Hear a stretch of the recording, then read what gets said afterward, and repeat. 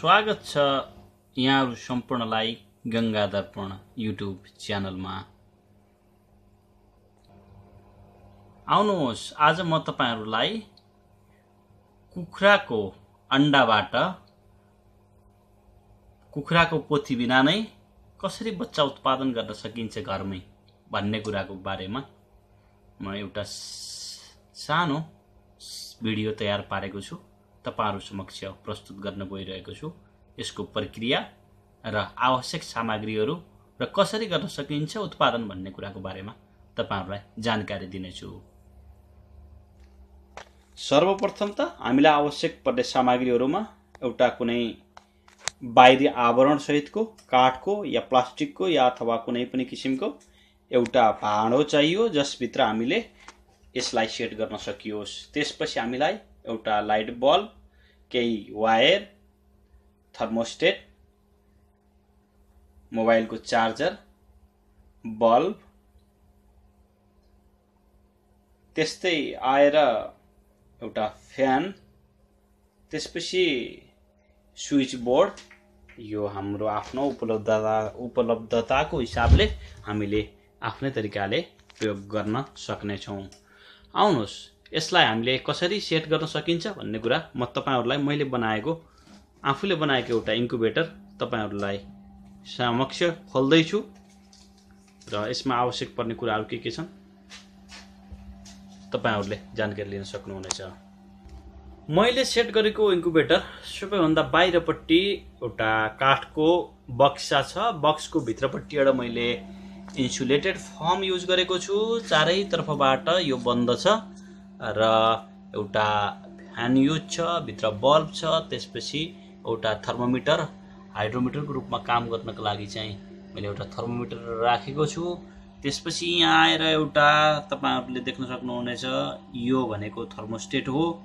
त्यस्तै यहाँ यसको बक्सको बाहिरपट्टि एउटा मोबाइलको चार्जर जुन हामीले भित्र चलाएको फ्यानको लागि युज गरिएको छ र बोर्ड तपाईँहरूले देख्न सक्नुहुनेछ। यस्तै यी सामग्रीहरू यो भित्रपट्टिको फ्रेम हो। फ्रेम के को लागि र त्यहाँ माथि एउटा मैले यो तखता जस्तो बनाएको छु केही सामान राख्नको लागि। यहाँ मैले एउटा थर्मोमिटर युज गरेको छु भने अर्को हामीले पानी राख्नेछौँ। यसको आर्द्रता हामीलाई आर्द्रता चाहिन्छ। त्यसको लागि पानी राख्नको लागि मैले बनाएको त्यो ठाउँ हो। तपाईँहरूले देख्न सक्नुहुनेछ। र आफ्नो बक्सको हिसाबमा तपाईँहरूले यी सामानहरूलाई आफ्नो तरिकाले सेट गर्न सक्नुहुनेछ। र अर्को कुरा याद रहोस् हामीले बिजुलीको काम गर्दा इलेक्ट्रिकलको काम गर्दा जान्ने मान्छेहरूसँग मात्र सम्बन्धित रहेर काम गर्नु होला किन भन्दा यसले ज्यान पनि लिन सक्छ। तसर्थ आफूलाई नलेज जानकारी छ अथवा यसबारेमा तपाईँहरूले सेटिङ गर्न सक्नुहुनेछ भने आफै गर्नुहोस्। अन्यथा बिजुलीसँग सम्बन्धित अथवा बिजुली सम्बन्धी ज्ञान भएको मान्छेलाई मात्र कामको लागि सम्पर्क गर्नुहोला। हामीले यसरी सेट गरिसकेपछि यसरी सेट गरिसकेको बक्समा एउटा फ्रेम मैले भित्र सेट गरेको छु। फ्रेमलाई एउटा भागमा चारवटा अन्डा राख्न सकिने तरिकाले र यहाँबाट एउटा स्क्रु लगाएर मैले वायरबाट यो वायरलाई बाहिर निकालेको छु। किन भन्दा हामीले अन्डा राखिसकेपछि अन्डालाई कम्तीमा पाँचदेखि छ घन्टाको बिचमा मत छ घन्टाको समय अन्तरमा हामीले अन्डालाई चलाउनु पर्ने हुन्छ फर्काउनु पर्ने हुन्छ। त्यो हिसाबले मैले ती सबै अन्डाहरूलाई चलाउनको लागि बाहिरको कभर खोल्न नपरोस् भनेर एकैचोटि बाहिरैबाट एकैचोटि अन्डालाई चलाउन सकिने गरेर एउटा फ्रेम बनाएको छु। तपाईँहरूले देख्न सक्नुहुनेछ। यहाँ यसरी यो अन्डालाई हामीले बाहिरबाट एउटा तारको माध्यमबाट हामीले चलाउन सक्नेछौँ। जुन कुरा तपाईँहरूले पनि यसरी नै सेट गर्नुभयो भने सजिलो हुन्छ अन्यथा तपाईँहरूले कभर खोलेर गर्नुपर्ने हुन्छ जसले गर्दा भित्रको तापक्रम केही छिनको लागि तलमाथि हुनसक्छ। मेन कुरो भित्रको हावा बाहिर र बाहिरको हावा भित्र नजाओस् भित्रको टेम्परेचर एउटै मात्रामा राखिराख्नको लागि हामीलाई थर्मोस्टेटले काम गर्छ भित्र लाइट छ।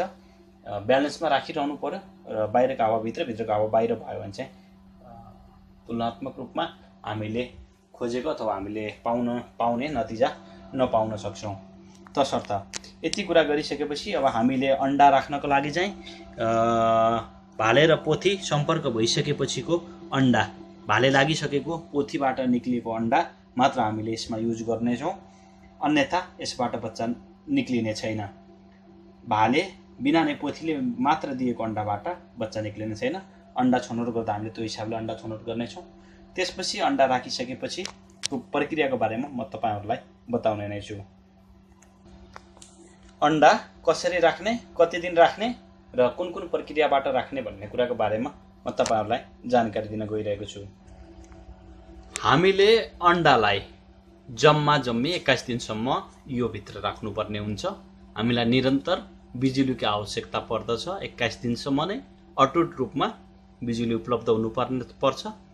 त्यसपछि हामीले अन्डा राखिसकेपछि एउटा कटौरामा पानी अथवा कुनै पनि एउटा भाँडोमा पानी राख्नेछौँ जसले हामीलाई भित्रको आर्द्रता आवश्यक पर्छ। आर्द्रता आवश्यक भनेको हामीलाई पहिलो अठार दिनसम्ममा हामीलाई चाहिने मात्रा भनेको आवश्यक पर्ने आर्द्रता हामीले पचास पर्सेन्टसम्म चालिसदेखि पचाससम्म अथवा पचपन्नसम्म पुर्याउन सक्छौँ। त्यसपछिको भनेको आर्द्रताको आर्द्रता भनेको हामीले अठार दिनपछि एक्काइस दिनसम्म हामीले सत्तरीदेखि असी पर्सेन्टसम्म आर्द्रता पुर्याउँछौँ। त्यस्तै अब तापक्रमको बारेमा म तपाईँहरूलाई केही कुरा बताउँछु। तापक्रम हामीलाई थर्मोस्टेट छ यहाँ। यो थर्मोस्टेटले आवश्यक तापक्रम पुगेपछि लाइटलाई बन्द गरिदिन्छ। यानि लाइट हामीले भित्र राखेको बल्ब नै हाम्रो तापक्रमको आधार हो तापक्रमको सोर्स हो। तसर्थ हामीले सेट गरेको हामीलाई आवश्यक पर्ने तापक्रम भनेको न्यूनतम तापक्रम भनेको हामीलाई ninety eight degree Fahrenheit to hundred degree फरनाइटसम्म हामीलाई न्यू अन्तिम मिनिमम अथवा म्याक्सिमम टेम्परेचर भनेको ninety eight degree Fahrenheit to hundred degree Fahrenheit हो। यसलाई सेल्सियसमा हुनुपर्दा thirty six degree Celsius thirty six point six degree Celsius to thirty seven point seven degree Celsius हो। योभन्दा नाइन्टी एट डिग्री फर्नाइटभन्दा तल भित्रको तापक्रम जानु भएन र हन्ड्रेड डिग्री फर्नाइटभन्दा माथि जानु भएन। यसैलाई सेल्सियसमा भन्दा thirty six point six degree Celsius तल्लो तापक्रम त्योभन्दा तल जानु भएन अथवा thirty seven point seven degree सेल्सियसभन्दा माथि पनि त्यो तापक्रम पुग्नु भएन। यो भनेको नर्मल्ली केही समयको लागि हुनसक्छ अथवा आधा घन्टा अथवा त्योभन्दा बढी समयसम्म तल अथवा माथि गयो भने भित्रको अन्डाबाट बच्चाहरू भित्र नै खराब हुनसक्छ। तसर्थ हामीले यी कुराहरूमा ध्यान दिनुपर्छ। र अन्डा राखिसकेपछि हामीले पहिलो दिन अन्डा राखेको आज बिहान सात बजे राखियो भने भोलि बिहान सात बजीसम्म यसलाई हामीले जुन हिसाबले चलाउनको लागि बनाइएको फ्रेम छ अथवा हातैले चलाउनु पर्ने भए पनि हातले चलाउन बन्द राखिएको पहिलो चौबिस घन्टा अन्डा जुन स्थितिमा राखिएको छ त्यही स्थितिमा राखिनेछ। त्यसको चौबिस घन्टा राखेको अन्डा राखेको अथवा हामीले इन्कुबेटरमा सेट गरिसकेको चौबिस घन्टापछि हामीले करिब अठार दिनसम्म चाहिँ हामीले अन्डालाई रेगुलर रूपमा दिनमा चार अथवा पाँच पटकसम्म अन्डालाई चलाइनेछ चलाउनु पर्नेछ र अठार दिनपछि फेरि हामीले यो अन्डालाई चलाउन बन्द गरिनेछ। र हामीले यो अन्डाको मुनिपट्टि न्युज पेपरलाई न्युज पेपरलाई राखिनेछ यसरी न्युज पेपर राखिनेछ ताकि अन्डाबाट बच्चा निस्किँदाखेरि त्यसमा केही लिक्विड पदार्थहरू लिक्विड पनि हुन्छ। अथवा चिसो हुन्छ त्यो चिसोलाई हाम्रो न्युज पेपरले सोच्ने भएको कारणले गर्दा हामीले न्युज पेपर राख्दाखेरि चाहिँ प्रभावकारी हुन्छ।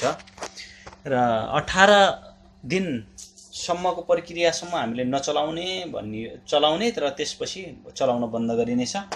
चलाउन बन्द गरेको र ह्युम्युनिटी हामीले अठार दिनपछि मैले अगाडि जो भनिसकेको थिएँ ह्युम्युनिटीको कुरामा अठार दिनपछि हामीले सत्तरीदेखि असी पर्सेन्टसम्म भित्रको आर्द्रतालाई बढाइन्छ। जुन हामीले राखेको कचौरामा राखेको पानी छ त्यो एउटाबाट चालिसदेखि पचास पर्सेन्टसम्म हुन्छ भने हामीले अर्को एउटा कचौरा अथवा कुनै एउटा भाँडो सेम भाँडो युज गर्दाखेरि चाहिँ त्यसको बराबर मात्रामा निक्लियो भने हामीलाई त्यो आर्द्रताले पुग्छ। त्यसैले मैले जहाँनिर थर्मोमिटर राखेको छु त्यसलाई हटाएर त्यसै ठाउँमा अर्को सेम भाँडो राखियो भने उस्तै कचौरा अथवा भाँडो राखियो भने हामीलाई आवश्यक पर्ने आर्द्रता पनि पुरा हुनेछ र बिस दिनबाट नै अन्डा फुट्छ आफै फुट्न थाल्छ भित्रबाट बच्चाले फुटाल्न थाल्छ। हामीले अन्डालाई फुटाउनु पर्ने आवश्यकता छैन। र एक्काइस दिनसम्म पनि बच्चा ननिस्किएको खण्डमा र बच्चाले केही मात्रामा अन्डालाई तोडेको खण्डमा सामान्य तरिकाले तपाईँहरूले त्यसलाई बाहिरको कभरलाई हार्ड कभरलाई अथवा दरो भागलाई चाहिँ तपाईँहरूले थोरै थोरै गरेर खोलिदिन सक्नुहुनेछ र त्यसैभित्र यही इन्कुबेटरभित्र राख्नुभयो भने चाहिँ फेरि त्यसैबाट पनि बच्चा निस्किन सक्छ। तपाईँहरूलाई म देखाउँछु कति टेम्परेचर पुग्दा कसरी यो अटो स्टार्ट हुन्छ र अटो बन्द हुन्छ। यसपछि तपाईँहरूले पूर्ण रूपमा घरमा नै अन्डाबाट कसरी बच्चा निकाल्न सकिन्छ भन्ने कुराको प्रयोग आफैले गर्न सक्नुहुनेछ र यसबाट लाभ लिन सक्नुहुनेछ।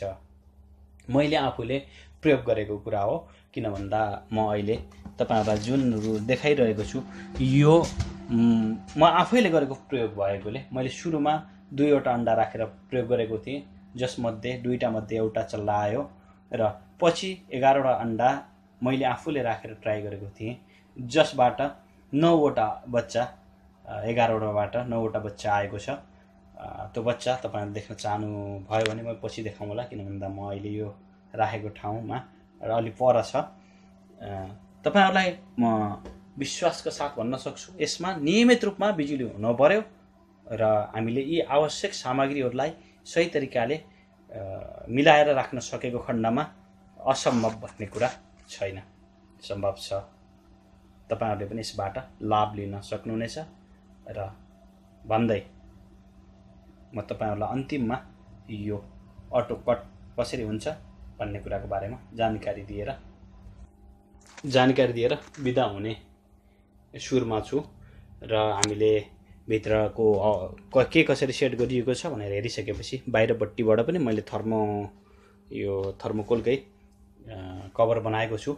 यसलाई हामीले यहाँबाट चाहिँ मास्किङ टेप अथवा अरू कुनै पनि टेपले बन्द गरिदिनेछौँ ताकि हाम्रो बाहिरको हावा भित्र नजाओस् अथवा भित्रको हावा बाहिर नआओस्।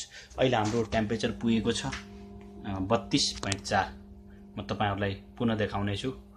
अ, यसको लागि चाहिँ तपाईँहरूले अरू जानकारी पनि लिन सक्नु जानकारीहरूको लागि गङ्गा दर्पण युट्युब च्यानललाई सब्सक्राइब गरिदिनु होला। तपाईँहरूलाई मन परेको खण्डमा यदि यो भिडियो मन परेको छ भने सेयर पनि गरिदिनु होला